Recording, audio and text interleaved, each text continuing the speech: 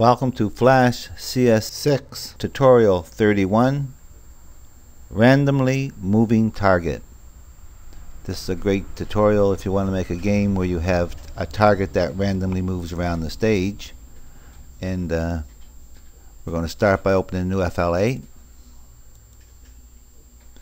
Action script 3. I'm keeping the 550 400 white background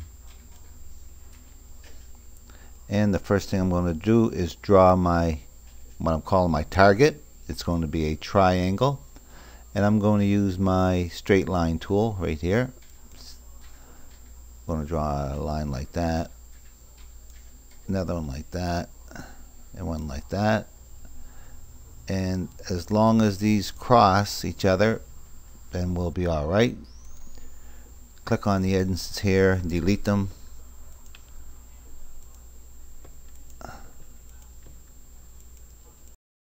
I'm just going to grab the corner here and pull that back a little bit and bring this peak down. There. Pick up the bucket tool. There's a bucket. And it's this one down here and I'm going to leave mine green whatever color you want. Fill it. Pick up selection tool. Right click on it and come down here convert it to a symbol make sure movie clip is selected here. Make sure this center registration point and call it tri capital T-R-I as in triangle underscore MC and copy that. Right click copy it. Okay. And while it's highlighted I can see the blue around it. Open the properties panel. It tells me it's the movie clip tri and paste that in for an instance name call this layer tri T-R-I as in triangle lock it. While it's highlighted come down here insert layer call it AS as in action script. Select that first frame open the actions panel. Mine is here. If you don't have your action panel here go up to window and click actions. It'll open up. And we're going to type in this code. Type type type type type type type type we're going to start by making three variables. VAR turns purple. DX colon number capital N-U-M-B-E-R turns blue equals 0 semicolon. Copy that, paste it in, change DX to DY, paste it in again, and if you want to do it that way, we want variable target, T-A-R-G-E-T, colon point, capital P-O-I-N-T, turns blue, semicolon. Now we'll go through some code here and then we'll explain it to you as we go through. The first thing is, there's our first, vari first variable target, T-A-R-G-E-T, equals new, N-E-W, turns purple, point, capital P-O-I-N-T, that's this new point we're making, um, open bracket, math period random, capital M period, small r turns blue, open close bracket, asterisk, that's the um, uppercase of the number 8, it's the multiply, multiply by 500, comma, math random again, capital M period, small r turns blue, open close bracket, asterisk 400 close bracket semicolon. This is creating for us a point on the stage. And the point for the X is this one up to as big as 500 our stage is, is certainly going to handle that. I think it's 550 and on our y-axis this is our y-axis we can go down as far as 400 which is taken in consideration that our stages goes all the way down to 400. If you want to make that 375, that's up to you. So we're creating that new target and we're going to trace it. T-R-A-C-E turns blue, open bracket, target. So copy target, paste it in here, close bracket semicolon. So that's going to trace it on our output panel so we can see that we're generating this, this number. Now, we need an event listener. So stage, S-T-A-G-E, small s, turns blue, period. Add event listener, small a, capital E, capital L, that turns blue. Open bracket, event, capital E, V-E-N-T, period. This is all capitals here. Enter underscore frame, E-N-T-E-R underscore F-R-A-M-E. There's a comma here, and I'm calling it follow ball, and um, that's just from a previous tutorial that I did. So I'm going to keep that name follow ball, uh, close bracket, semicolon, and now I'm going to call up that function. F-U-N-C-T-I-O-N turns purple copy this follow ball, paste it in. You could have called it something else, that's up to you. Open bracket, event, small E-V-E-N-T turns blue, colon, event, capital E-V-E-N-T turns blue. Close bracket, colon, void, void and function are the same color. Now, this enter frame means every time we go through this frame and we're going at the rate of 24 frames a second so 24 times a second this is going to be updating where our our ship should be this this target so here's the open curly bracket for this function and down here is the closed curly bracket for this function dx that's that first variable variable we made that is equal to tri underscore MC period X. X turns blue, small x. This is the physical position of the triangle. Minus target period X, semicolon. That's the uh, generated, up here we will generate that new point. That's that target right there. So it's going to find the difference of those two on the x-axis. Copy that, paste it in, change this x here to a y right here. This can stay the same except period y, period y, and this is doing the same for the for the y-axis. So we have our both our our axes, and from that we can figure out how to get that ship to go to the right direction. So tri underscore MC period X. That's the location of the on this x-axis minus equals, that means decrement. And in decrement means to, to take away from each time.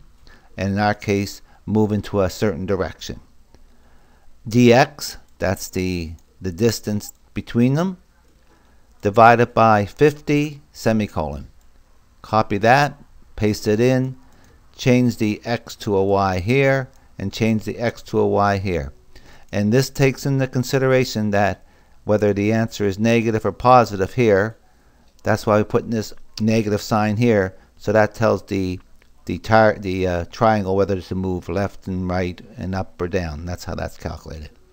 This 50 is just a number I've chosen and the smaller you make this number the the because it's the divisor I believe they call it the smaller you make this number the faster this this uh, triangle will move.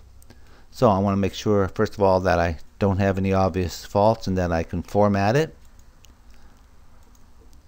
And I'm just going to give it a quick try. Control, test movie test.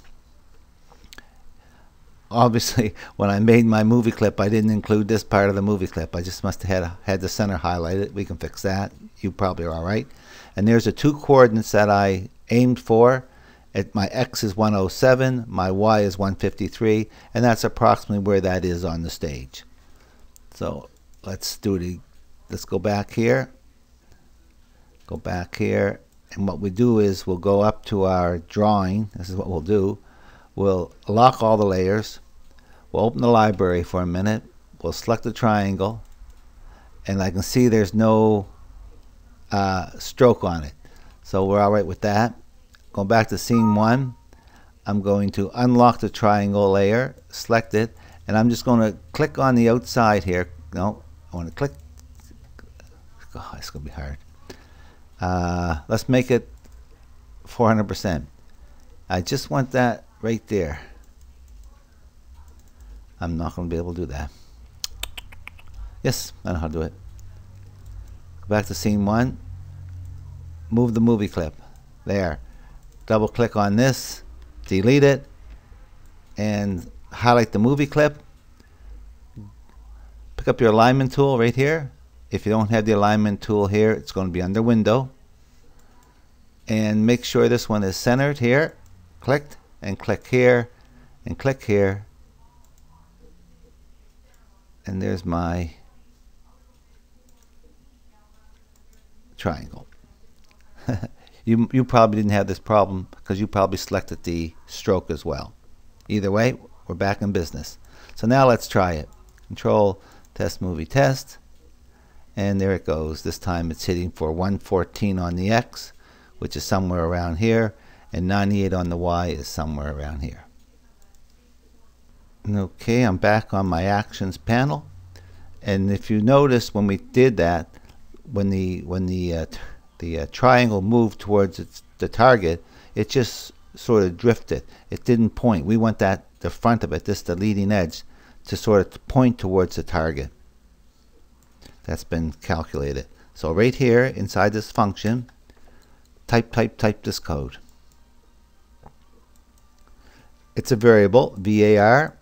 I'm calling it angle a n g l e equals math, capital M-A-T-H, period, arctan, I call it arctan, A-T-A-N, small a, 2.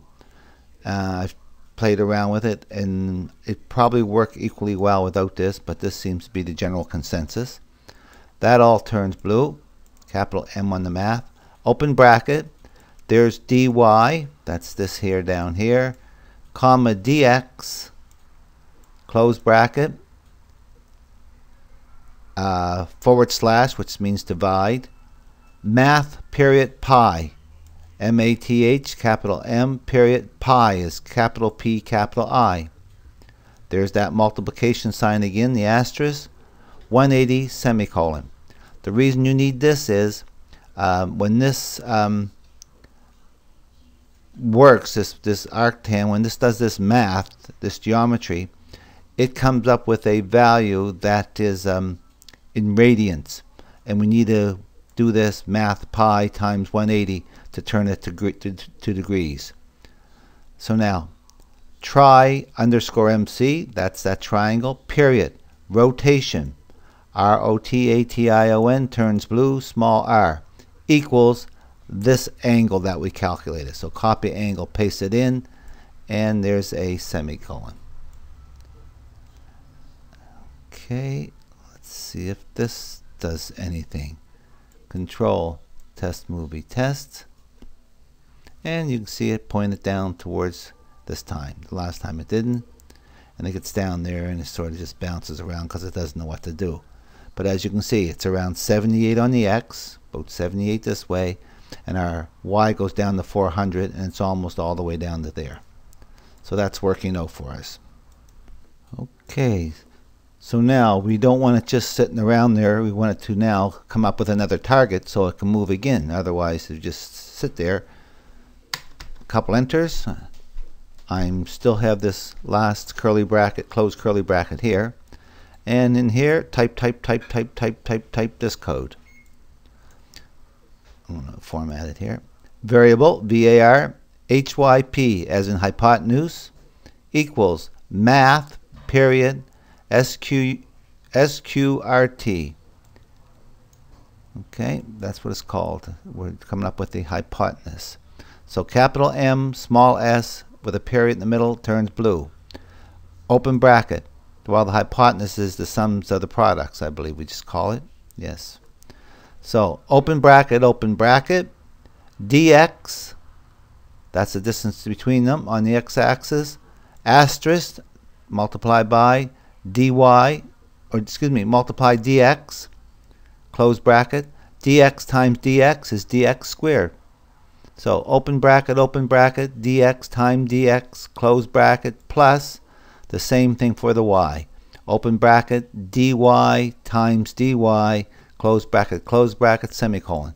That comes up with the hypotenuse for our new our new um, coordinates. Now, it's saying if if the hypotenuse, if, open bracket, if turns purple, open bracket, hypotenuse, HYP, is less than or equal to 10, uh, close bracket.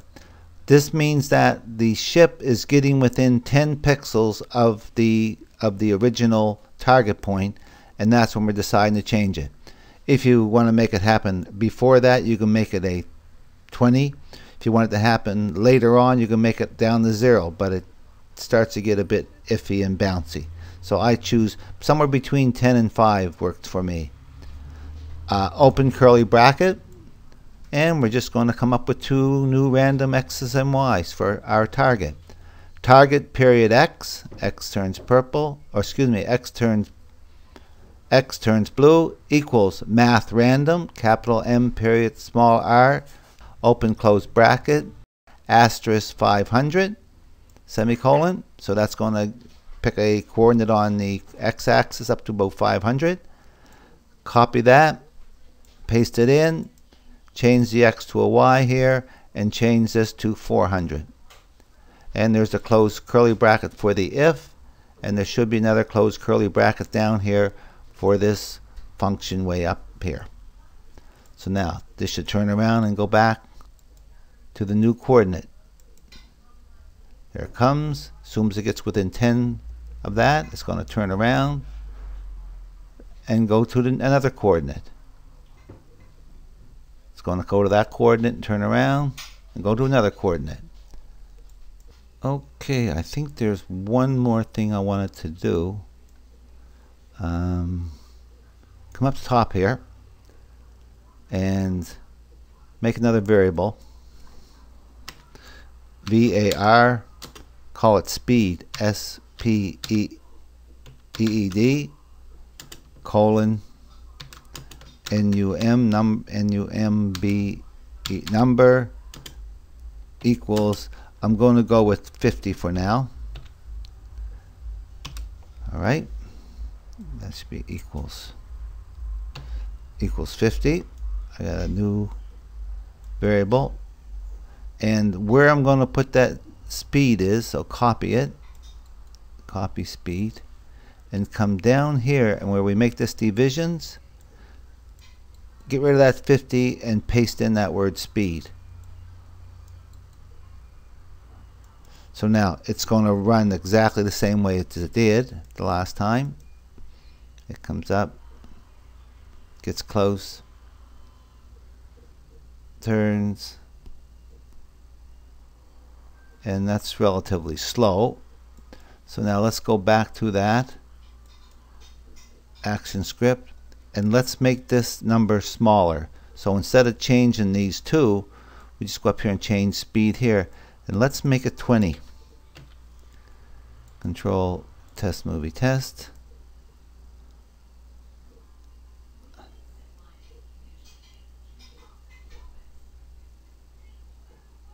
Okay, you see that? And let's even make it faster. Let's make this 10.